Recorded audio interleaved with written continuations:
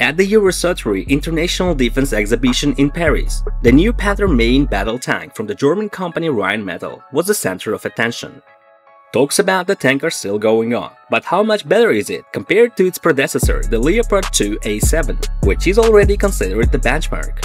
You will get the answers in this video, we will take apart each component and make conclusions. Is the Panther really a revolutionary tank or just a pretty rob? Let's go!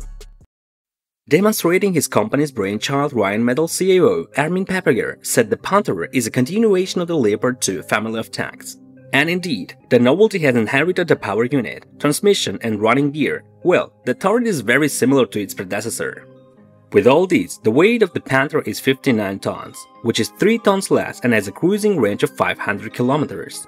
In general, as they say in Rheinmetall, their product should become a completely new and rethought tool, able to perform both fire and reconnaissance tasks. And now, let's elaborate on certain aspects.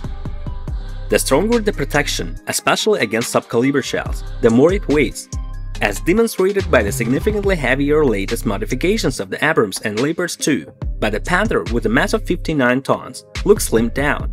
We can't speak here about concrete figures of resistance to weapons because of the lack of data, but the tonnage indicates that the level of passive armor of the new tank is unlikely to suppress the Leopard 2 A7. Also, the tank has dynamic protection, apparently it also consists of steel sheets and put between them rubber-like pads, but probably some of the elements could be replaced by more efficient and energy consuming. There is also an active protection, in this case there is AMAP, Advanced Modular Armor Protection System. This complex uses as a means of protection that fired ammunition with controlled detonation. Two groups of sensors are responsible for the detection of attacking objects, which determine the trajectory, speed, and type of projectile and transmit the data to the onboard computer, which already takes a decision to fire the counter munitions. The reaction speed of the system is only 56 milliseconds, which is enough to destroy not only anti-tank grenades and rockets but also subcaliber rounds. The tank is also equipped with a system to detect and counteract homing anti-tank missiles attacking the roof. It is also an aerosol screen that camouflages the tank and detects them, most likely cameras operating in the infrared and ultraviolet ranges, capable of detecting the missile by the radiation from its engine. Well complements this peculiar air defense remote control machine gun, which is capable of engaging unmanned aerial vehicles. The Leopards are currently equipped with the MUSS Active Denial system, which detects and responds within 1 to 1.5 seconds by activating a smoke screen or infrared jamming signal to the launch platform. By 2025, it's planned to install Israeli Trophy on the Leopard 2A7 tanks, which has already proved itself in combat conditions and can withstand the majority of anti-tank shells. One of the main features of the Panther is its 130mm L52 smoothbore gun, in comparison, the Leopard 2 is equipped with 120mm cannon, but as it's almost fully used up and can no longer provide significant increase in muzzle energy, which affects the penetration of kinetic energy projectiles, tank builders began to look at the 140mm cannon. The L52 is almost identical to the 120mm gun in weight and dimensions, but provides 50% more muzzle energy, which with the increased diameter of the barrel by 10mm will allow to create more powerful ammunition for different purposes. But this change in the caliber of the Panther led to an increase in the weight of the rounds to about 30 kg.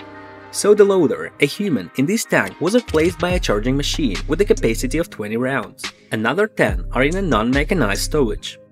A special novelty was equipping the tank with the Hero 120 kamikaze drone, which can be operated by any crew member. The vehicle is capable of flying to 40 kilometers during the day and night. You can use it as a scout, but the main purpose is to destroy equipment and stationary objects. Also, in the roof of the turret, closer to the sides, there are niches for two quadricopters, used for reconnaissance at short distance from the tank. The Panther Gunner has a multi-channel sight in the frontal part of the turret, just like the Leopard 2. It has the standard set in the form of a TV channel, automatic target tracking and laser rangefinder. And the commander has a panoramic observation device with 360 degree rotation, so you can observe the terrain, detect and identify targets, shoot at them with a cannon and coaxial machine gun. Also, the hunter-shooter principle is realized when the commander marks the target and the gunner hits it. There is nothing fundamentally new here. Additional visibility is provided by the transparent armor system, consisting of cameras mounted in all projections of the tank. The image from them comes to the displays of all crew members. What can we say about the Panther? Probably, that is just a modified Leopard 2, which doesn't look revolutionary at all. In general, of course, the tank leaves a double impression. All these innovations in the form of a new gun, electronics, active protection, and other things are really necessary things. But the feeling that Rheinmetall is trying to sell an old product in a new wrapper is still present. Thanks for watching the video all the way to the end. Don't forget to subscribe and like this video if you like it. See you next time!